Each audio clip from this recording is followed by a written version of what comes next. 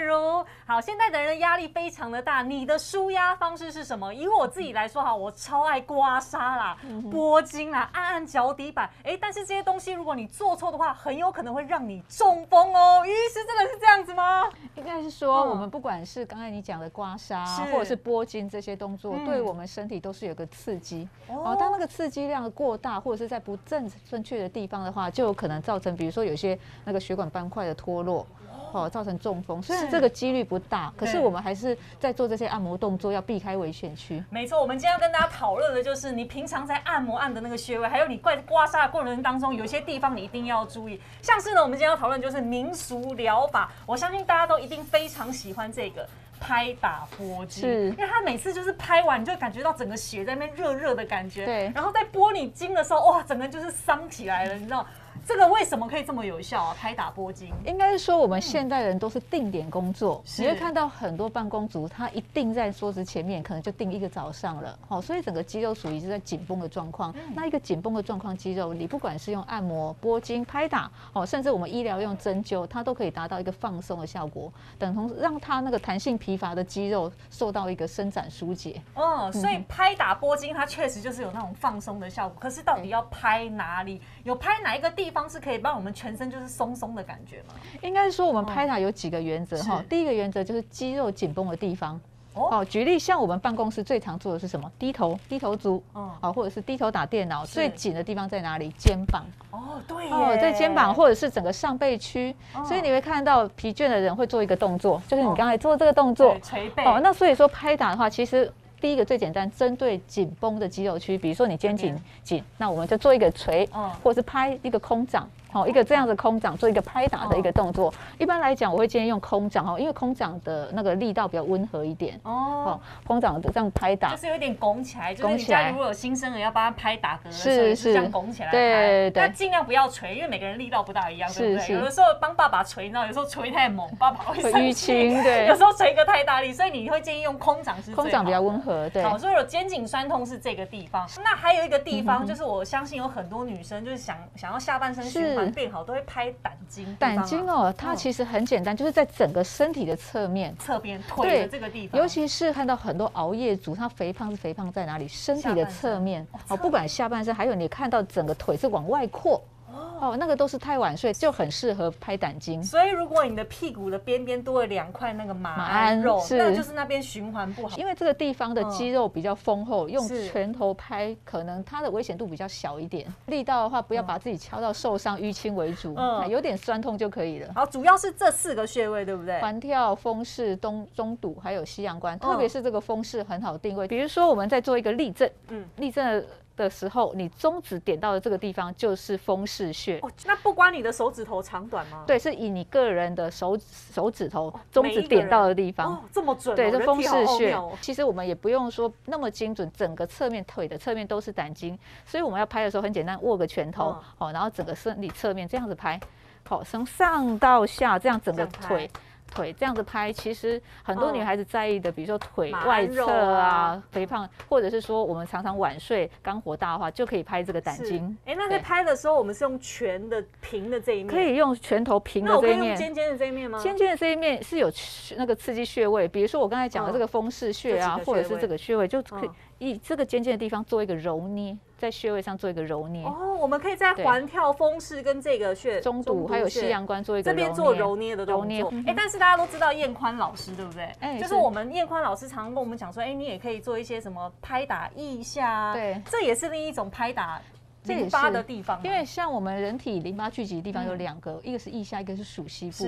那特别要注意哦，因为这些地方都是比较敏感，身体比较敏感、比较脆弱的地方，所以我们拍的时候一定用空掌。刚才讲的空掌拍，哦，就不要用那个那个拳头硬去打击它。哦，尤其像我们属膝部有重要的动脉通过，是。哦，如果说你用拳头大力去刺激它，刺激到已经不当的话，它的那个股动脉动脉可能会受到太过刺激，会有剥离的一个危险。嗯。然后第二个我讲到是腋下。因为它腋下整个身体侧面又是嗯胆经，刚才提过胆经，所以除了脚的胆经，手的胆经也可以这样子拍。哦好，我们从从腋腋下下，然后拍到身体的侧面。侧边拍，好，尤其像女孩子会介意腰腰的那个嗯腰围太肥啊，或者有一些腰间肉的话，我嗯们常常这样拍拍拍拍，可以阻止那个脂肪堆积在我们侧面哦。对，哎、是。那假设我们真的就是觉得自己腰椎有点胖啊，然后这边有马鞍肉，毛起来拍拍到淤青可以吗？哦，当然不行。其实最嗯简单就是你拍起来会觉得有点酸、有点痛，皮肤微红就可以了。嗯，所以不要拍到淤青，拍到淤青反而是不好的，对，那是一个伤 OK，好，这个就是呢，我们拍打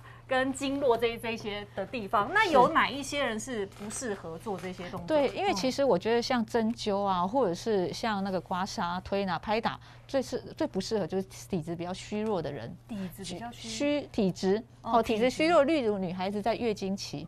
哦，或者是说有些老人家体质比较虚弱嗯，那或者是有些孕妇刚做完月子的时候，她急着要变瘦，就一直拍打，结果她身体太虚了。是哦，不要小看这个拍打、揉捏，这个会让循环变快，变快有些受不了，会晕、头晕。嗯哦，那或者是有些饥饿太久，哦，有些比如说饿太久饿太久、哦饿太久没睡饱，营养不良，对虚虚弱状况下，就是是比禁止太激烈的刺激。受伤也不要，对不对？嗯外外伤的地方可能也不适合，就是你可能最近开刀，或是不小心被撞到，也是尽量先不要做有外伤的地方，千万不要去刺激它。所以在拍打跟我们用拳头捶的状态下，是应该是你的身体是正常的状态下，没有任何的伤害。对这样子拍是最好的。是的 OK，好，这个是我们这个拍打的。那我们再看第二个这个民俗疗法，哦，这个也是好舒服哦，穴位按按摩摩是像我自己去沙龙店按的时候，都会按肩颈或者是背。是可是也你会发现哦，哎，在路上有好多就是只单纯按脚底板。对那医师你会怎么建议？我们到底要选择按背、按肩颈的呢，还是我直接去推脚底板？对，因为在这个也要分两个部分哈，嗯因为有时候我们的疲劳是全身性疲劳，你也搞不清楚哪里酸哪里痛。确实下下班的时候去舒压做个脚底按摩很好。对，哦，那脚底按摩我们通常会有几个大穴位，比如说像涌泉穴。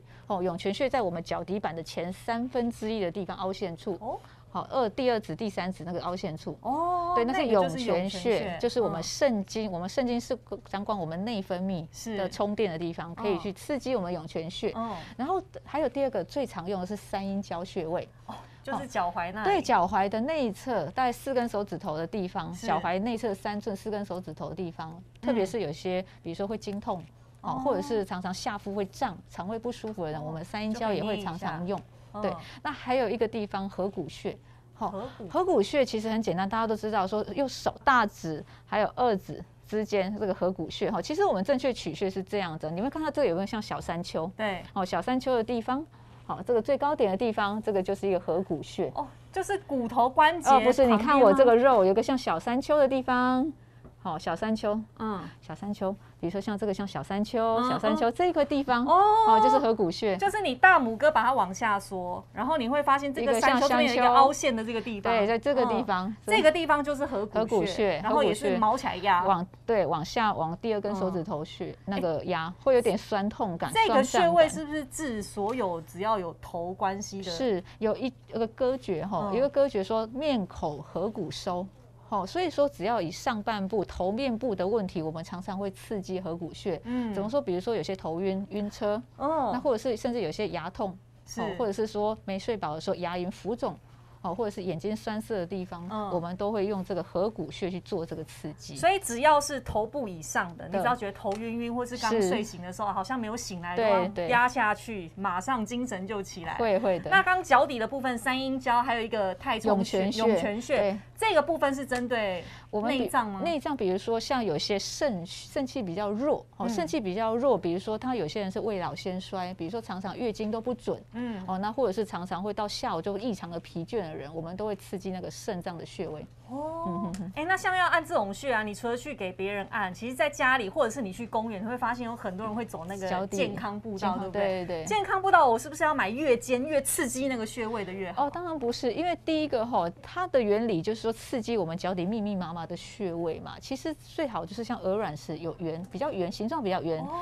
刺激比较温和的为主。哦，太尖的话，我最怕一个族群，就足底筋膜炎的族群。哦，哦，因为他脚底的筋膜已经在发炎了，你不管是用圆的石头或尖的石头，都会刺激它发炎更严重。真的哦，所以是脚底筋膜炎，或者是说你脚踝有扭伤的话，不要轻易去刺激脚底。哦，好这个要先把它治好再说。因为有些人你知道吃重咸，就觉得要越尖越顶，但是如果你有足底筋膜炎的话，是会反而是会刺激它发炎。对，所以这是大家要注意的。接下来我们要来看呢，除了按摩之外，泡脚也是一个非常好的方法。对，泡脚的话，我们要注意几个哈。第一个温度，温度不要太高，我觉得大概四十度就好哈，顶多四十度。我们人体大概三六三七度嘛，四十度为宜。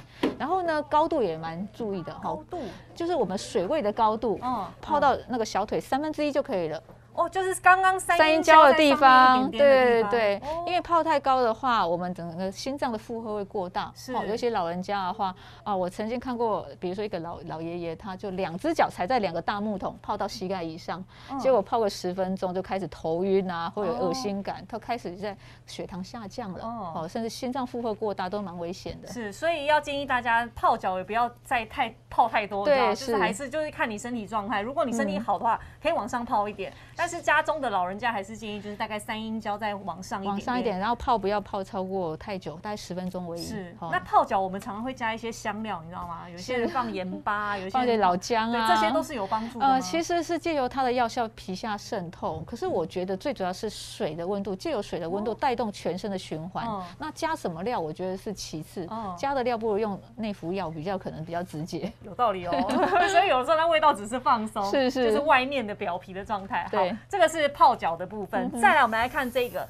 刮痧拔罐，我觉得这个刮痧就是夏天几乎人人都会刮，你只要累刮，然后只要觉得酸痛就是去拔罐。是是，这个也是什么样的效果？其实这个跟刚才讲的拍打拨筋都是类似哈，就刺激表皮的经络。嗯，哦，因为我们表皮经络有时候我们看夏天常常在冷气房都不太会发汗。对，哦，结果你会发现现在很多人要么出去出差的时候热得半死，然后回到办公室冷气房又把它闷住没有发汗的时候，嗯，他常常很容易中暑、头晕脑胀。所以这时候呢，我们适当的刮痧。让表皮的微血管扩张，循环好一点，或发发汗，会让他身体比较舒服。嗯，而且在刮痧前后，大家一定都要注意。像有的时候刮痧之前，我们该准备的器具，有的时候有些人会用汤匙，是可以用汤匙吗？可以，像瓷汤匙，就是不要那么锐利的汤匙，哦，不要那么锐利的汤匙。然后第二个要注意，就是表皮要上一些油类，哦，或乳液类让，要圆角类的仪器，对，圆角类的东西。然后我们呃，大概表皮上一点油类的东西，才不会刮伤。哎，那油。类可以选择那种万金油，就是比较凉感的那种。呃，也可以哈，就是说最主要你用的时候皮肤不会过敏刺激为宜，这样让它比较好刮。那在刮痧中，到底我们是这样子刮刮刮刮刮，像刮刮乐一样刮，还是要怎么刮？因为单一方向，而且刮的速度跟补泻有关。一般来讲，刮的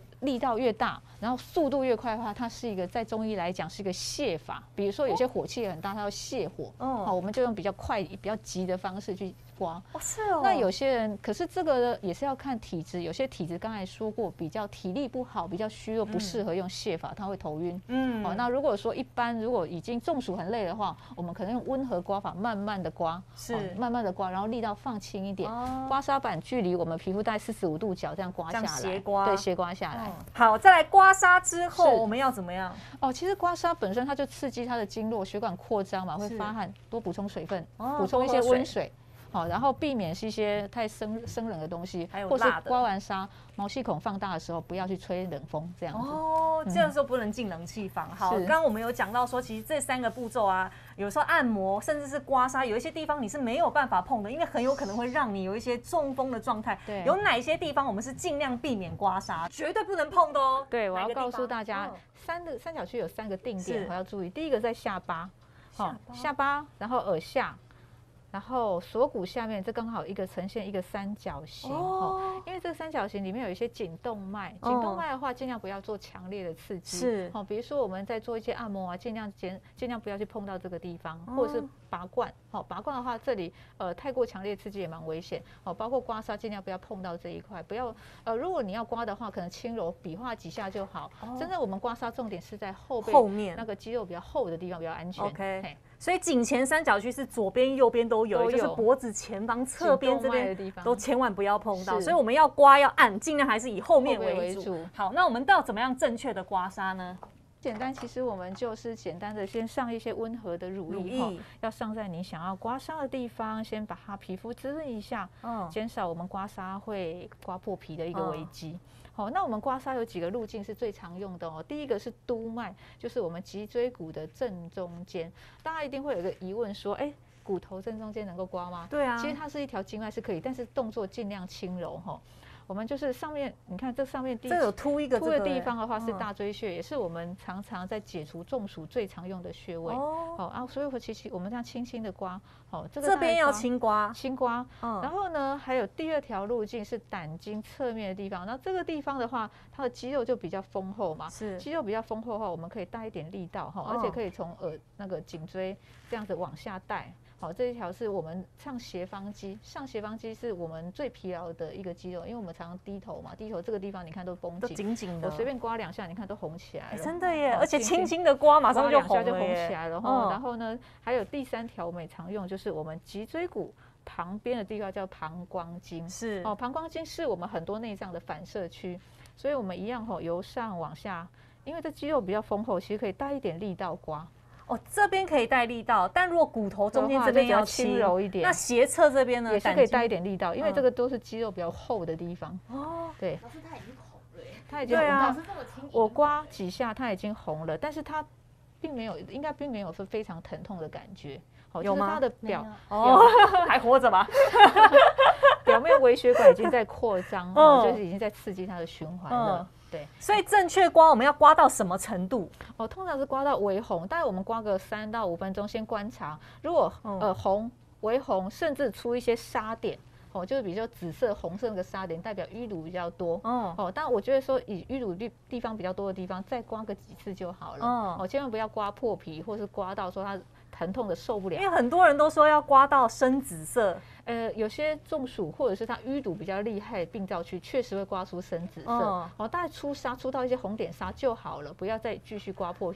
那我们在刮的时候有什么状态下是不建议刮的？我们要吃饱饭刮啊，不建议说太饱或太饿的时候，或者是过度疲倦没睡好的时候，因为一刮下去的话，尤其像我刮的比较急，它循环会变快，有些会头晕，甚至有些会想吐的感觉。嗯，好。然后第二个就是说有外伤的地方，哦，比如说你在刮痧的地方有些擦。破皮本身有受伤的地方，就不要再去刮痧了。哦，OK，好，这就是还有喝酒之后也是千万不要乱刮痧，就是还是你必须要意识清醒的状态之下，然后也不要太饱，也不要太饿，对的情况之下去刮痧。那我自己说我自己好了，我自己平常也是蛮爱在家刮痧的，但我常常就是被 Q 被刮痧的那一个。那我每次都刮到很厌世，因为像老师你刚刚的器具啊，基本上就是一定要像我自己刮，一定要这样子很用力，这样一直推。是。才会推出沙点。那我自己很喜欢，就是用那种电动型的刮痧仪，OK，因为它的力道比较大，真的，吃比较重咸的很适合。我很喜欢用刮痧仪，是因为这刮痧仪它其实手的那个大小就跟我们手握是一模一样的。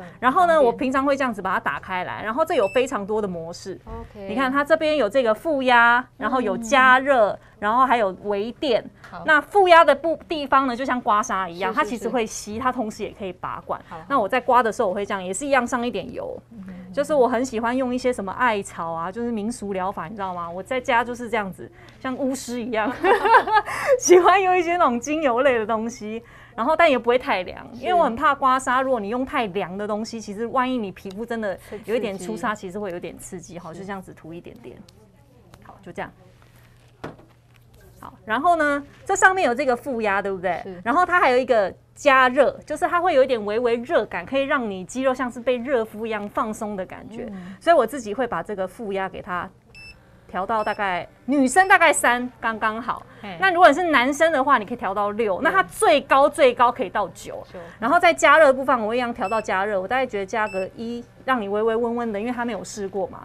然后旁边还有一个电疗，也是可以试试看。好，那我自己就只只是用负压跟加热。那我会这样子，有点像是人家说的那个，有没有感觉到吸吸的？它会把你的这个肌肉给这样吸起来，然后在这时候这样子滑。你看，你会听到嘣的声音，滑罐。对，有点像滑罐。来讲是滑罐。对，就是有点滑罐的效果。一边刮痧一边滑罐，双效，而且一边热敷，还蛮蛮好用的。对，然后这样就很轻松，就是因为主要是机器在吸，然后你人不用吸。刮了那么久。对。我来了来了来了，马上你看，你看这个，你看，很快哎，大概三下左右。对对对，大概刮一刮几分钟，你这样几下就出来了。对，而且它上面还有微微震动，我就很爱这一台，是因为它除了可以像拔罐一样，然后它有微微的热度之外，它还有微微震动，很像我们坐在按摩椅上，你知道在按摩你那个肌肉的感觉。你看我这样轻轻一刮，它就这样子，马上就出痧了，哎，很快哎，你看有没有看到？它的，而且我这边有紫紫的耶。是，哦有。这样是不是就？这样刮到这样就好了。再刮个几下，五下就差不多了。再五下是不是？有感觉吗？还好，还好。这样叫哎，可是你沙很多哎，你看。真的，他他这个有哦，这个很厉害哦。刮痧板对，我就超爱这种的，因为我很爱吃重咸的。然后除了就是刮痧之外，就是现在的人还很喜欢拔罐，像我自己也蛮喜欢拔罐。然后这台机器它也可以拔罐，这是我觉得最厉害的地方。对。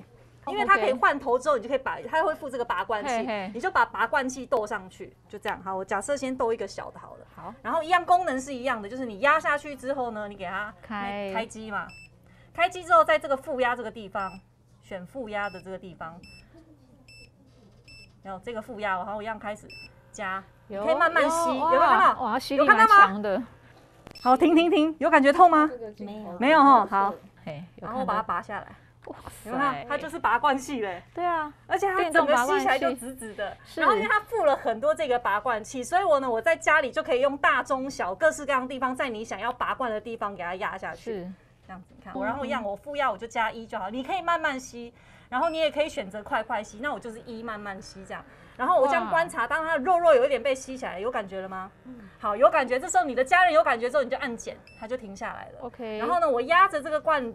然后再把这个拔罐这样子拉起来，然后就这样子，非常方便。大概拔罐大概拔个五到十分钟，这太多了。你看，像这个都已经起来，而且很红，就可以把卸压卸掉了，就可以拔，就这样卸掉。就可以拔掉，剩下一个罐。那这个你看，或者是说，我们可以用一个滑罐的方式。这是医生用的哦。好，那是用一个 痛吗？痛吗？一个滑，对，这有点毛起来痛哎。这个有点这样滑罐往下滑，往下滑，可以把它当成一边拔痧一边去做刮痧。好快哦！它这个叫做滑罐哦，在中医来讲是滑罐的一个动作。这不是我拔的。好的。还好吗？这个是膀胱经，对，大概滑的差不多就可以这样。你看。哎，两个差很多哎，这个是用一般我们传统刮痧板，就当然你如果有耐心，你可以这样子手一直刮的话，当然是可以用传统刮痧板。但我本身就是。呃，比较好吃懒做，就懒得就是每天这样子帮家人刮，其实这样子就会比较有效率。就是刮的人呢，基本上也不会担心说啊，你手会酸。一般来说呢，我们刮痧或是按摩完之后，你会感觉到放松。哎，但有些人刮痧按摩完之后没有感觉到放松，这其实是身体出了问题啊。应该是说，如果只是纯粹的紧绷，刮痧完一定会放松。但是有一种是内脏引起的酸痛哦，比如说有些胆结石啊，或胃肠不舒服的人，胃肠胀气，他背后就会常常酸痛、酸痛、肩颈酸痛。这时候你刮。刮痧也许会有短暂性的缓解，可是过了半天之后还是酸痛，又回来了。又回来的话，那你这个时候可能要去医院详细做个检查，是，我就就医了。所以刮痧按摩只是检查一下我们身体的状态，但是如果你的放松或是疼痛感并没有舒缓的话，哎，小心是内脏有一点问题喽。对，最后还是要提醒大家，我们的颈前三角区是没有办法按摩跟刮痧的，一定要特别的注意。然后身体有任何状况，一定要问一下医生哦。那今天要非常谢谢于医师，花健康，我们下一次见，拜拜，拜拜。